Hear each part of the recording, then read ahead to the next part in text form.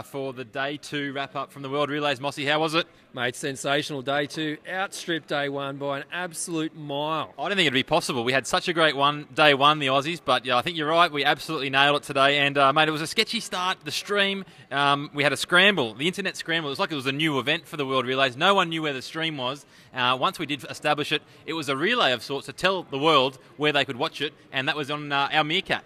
Well, mate, everything was scrambled from the moment that you actually uh, re- requested Ordered. scrambled eggs on your burger. We'll get to that in just a few moments, Robbo. But uh, look, we got there in the end. We had many watchers out there and uh, a lot of people interested, which is good. We did. We missed the women's one lap heats this morning. Uh, they made it to the B final, uh, which was great.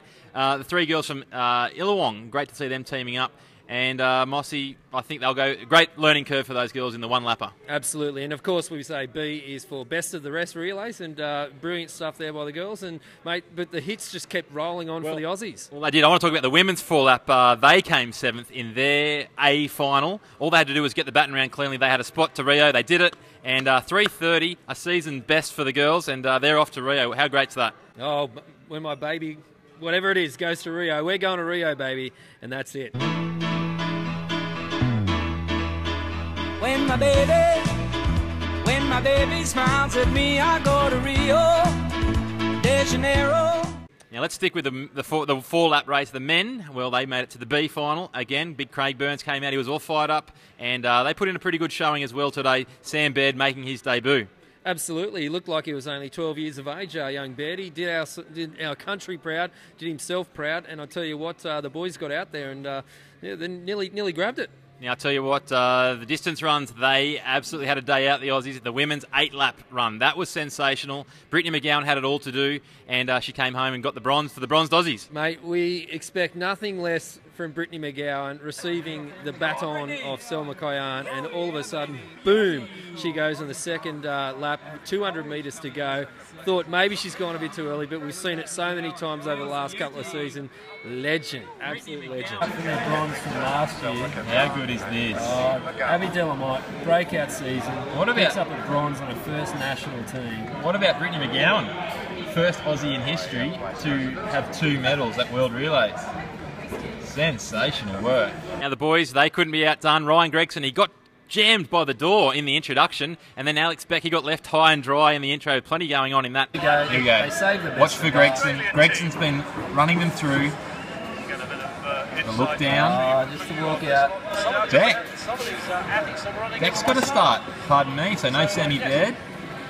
Here we go. What are they going to do? Beck, come back here.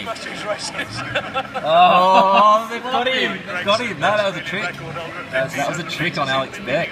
Oh, there's They Collis. Collis Birmingham or- orchestrated that. But uh, Collis Birmingham, he got the baton with a bit of work to do, and he bagged a bronze, and the Aussies bagged a bronze in that as well. Sen- sensational. Mate, it's just bronze, bronze, bronze. Bronzed Aussie. It's like this whole medal is made for us. So very, very special, and uh, yeah, we've got the bronze relay here, and uh, look, absolutely sensational. Mossy, uh, the intros they were great. I mentioned Gregson, but what about the Aussies in the one lap? We drafted in Brianna B, and what did she bring to the team? Well, Brianna, obviously, she's got a lot of innovation in the way she runs and what she brings onto the track and off the track as well. But she's had a bit of a chat to the girls. They came out, cheeky little bum slap. And I'll tell you what, we hadn't seen that for the whole of the carnival, and it has been voted as the intro of the meet. Well, Mossy, absolutely sensational. We've ended up with three bronzes and uh, some fourths in there as well. Great showings in the A and B finals. Uh, automatic spot to the Rio Games, but the golden baton, let's have a little look at that. Well, the bronze baton, Mossy, and uh, well, not quite bronze for us there, but fourth on the ladder, taking out some big scalps, uh, the likes of Great Britain, for instance. They didn't even, they barely got into the top 10.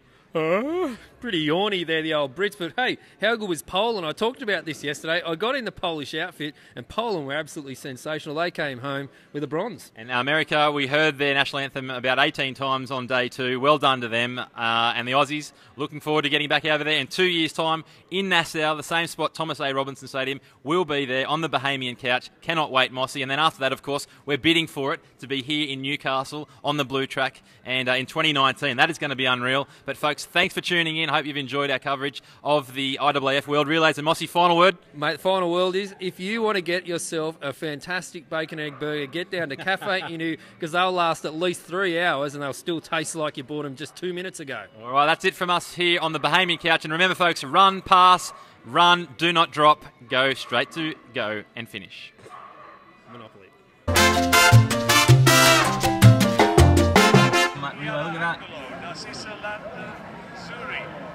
Ah. Ecuador, look at that.